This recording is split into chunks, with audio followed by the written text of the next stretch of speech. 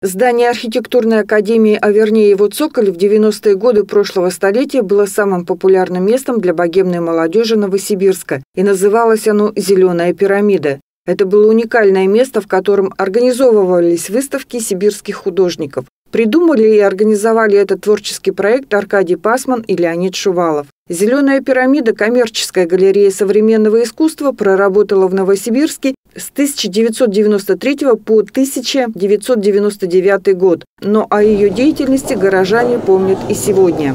15 ноября этому проекту исполнилось 30 лет. На юбилейном вечере собрались люди, которые принимали участие в работе этой галереи, сподвижники организаторов и владельцев. Сегодня э, вечер, э, он такой вечер воспоминаний, э, вечер ностальгический, вечер юмористический, вечер печальный, но одновременно и радостный, поскольку все-таки прошло 30 лет за это время – те люди, которые основывали зеленую пирамиду, к сожалению, от нас ушли.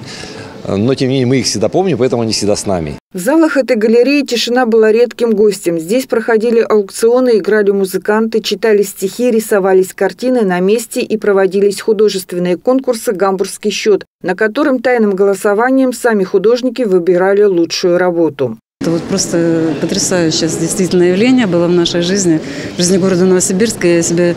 И нам казалось, что так живут все в то время. Но на самом деле это был уникальный проект – которые сделали очень творческие, э, очень высокоинтеллектуальные люди. Для того, чтобы выставить свою работу в галерее, не обязательно надо было иметь статус членства в Союзе художников, поэтому работы и выставки были разнообразны. От этого вообще не родилось что-то новое, какие-то новые проекты. Они фонтанировали этими идеями.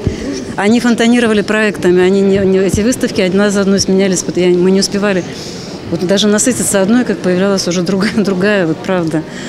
Это было мощно, это было здорово. Многие художники с помощью галереи «Зеленая пирамида» смогли организовать выставки за рубежом, что в 90-е годы было совсем непросто. В этом э, переломном времени, начала 90-х, жили очень большими надеждами.